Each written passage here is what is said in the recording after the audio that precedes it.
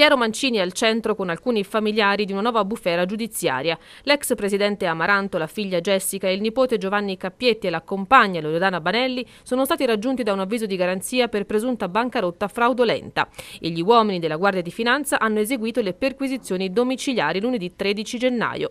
L'inchiesta condotta dal PM Roberto Rossi rientra nell'ambito del fallimento della società Mancini Group SRL. Le aziende principali erano Ciet e Cometi di San Sepolcro. Prima il diniego da parte dei giudici di una richiesta di concordato, poi nelle successive verifiche sarebbero emersi nei bilanci maxi distrazioni dai conti delle società.